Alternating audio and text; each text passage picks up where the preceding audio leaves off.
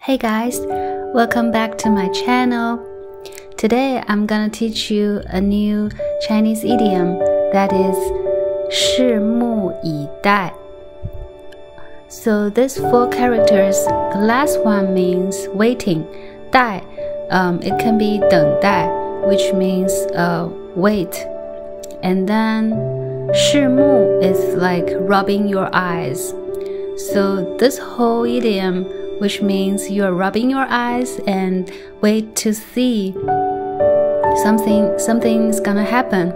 Um, it shows like a, a real desire to to see something is really likely to happen and um, so here you can see the action here like rubbing your eyes 拭目以 is a connection word between um, the first verb shimu, and also dai. So it's like a connecting two actions.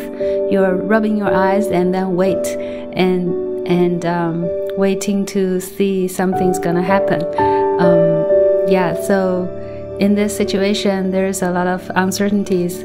I know everybody's shimu dai, something's gonna happen, and everything will back to normal, and people will go back to work.